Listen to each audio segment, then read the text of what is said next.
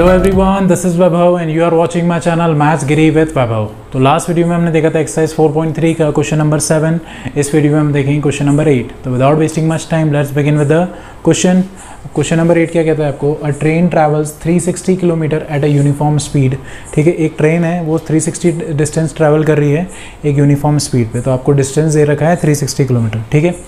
If the speed had been five kilometre per hour more तो इसने बोला, अगर स्पीड पाँच किलोमीटर पर आवर और अपन बढ़ा दें, ठीक है? It would take one hour less for the same journey तो अगर स्पीड हम फाइव किलोमीटर पर आवर बढ़ा देंगे तो जितना अभी टाइम लग रहा है, उससे एक घंटा पहले, उससे एक घंटा कम ही टाइम लगेगा जर्नी कंप्लीट करने में, ठीक है? Find the speed of the train तो आपसे पूछा है कि क्या स्पीड होगी ट्रेन की?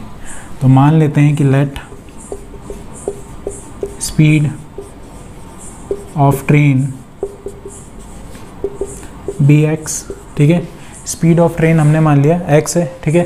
तो और डिस्टेंस क्या दे रखा है आपको? Distance is equal to 360 kilometre, ठीक है?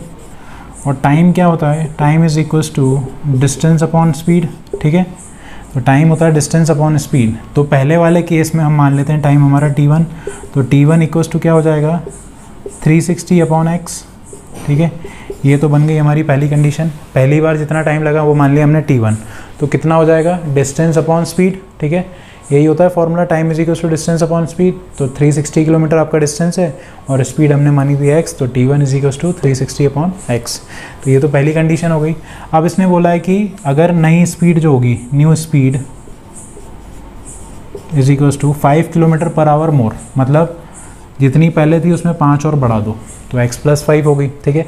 तो नया टाइम क्या हो जाएगा? T2 तो t2 क्या होगा? डिस्टेंस तो वही रहेगा 360 अपॉन स्पीड हो जाएगी x प्लस फाइव ठीक है? तो ये आ गया आपका नया टाइम ठीक है? 360 अपॉन एक्स प्लस फाइव अब क्या इसने बोला है कि जो पुराना टाइम था, उससे ये नया टाइम एक घंटा कम ले रहा है।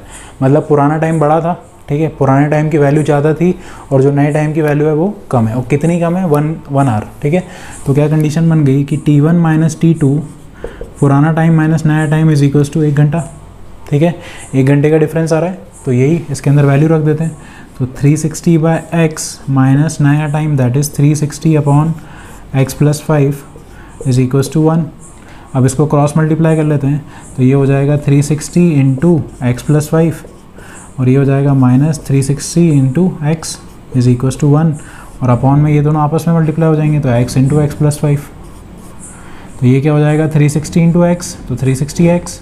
Three sixty into five that is eighteen hundred अब minus three sixty x upon, ये क्या हो जाएगा? एक्स इंटू एक्स तो x square. Plus x into five that is five x is equals to one. ठीक है? अब इसको फर्दर सॉल्व करेंगे तो ये हो जाएगा 360x और माइनस थ्री ये तो कट गया। अब ये उधर जाके मल्टीप्लाई हो जाएगा तो इधर क्या बचा? 1800 hundred is equal to x square plus five x ठीक है? ये पूरा इधर जाके मल्टीप्लाई होगा तो one into any number is that number only तो इसलिए डायरेक्टली मल्टीप्लाई कर दिया तो x square into one is x square x five x into one is five x only ठीक है? अब इसको प्रॉपर इक्वेशन बना लेते हैं तो क्या हो जाएगी? X square plus five x ये उधर जाएगा तो माइनस हो जाएगा तो minus eighteen hundred is equal to zero तो ये बन गई आपकी क्वाड्रेटिक इक्वेशन अब इसको सॉल्व करेंगे हम बाय क्वाड्रेटिक फार्मूला तो बाय क्वाड्रेटिक फार्मूला तो क्या हो जाएगा? X minus B sorry x is equal to minus B plus minus under root B square minus four A C upon two A तो ये हो गया एक्स क्या है? माइनस फाइव प्लस माइनस ठीक है? एक्स की वैल्यू क्या होगी? Sorry x is equal to minus B है तो बी की वैल्यू क्या होगी? जो एक्स के साथ होगा, ठीक है? तो फाइव मतलब एक्स का कोफिशेंट इज़ बी तो ये हो गया minus five plus minus under root B square B square क्या हो जाएगा? फाइव का square minus four A C तो फोर इंटू ए क्या होगा? एक्स स्क्वायर का कोफिशेंट दैट इज़ वन और सी क्या है आपका? माइनस एटीन हंड्रेड ठीक है?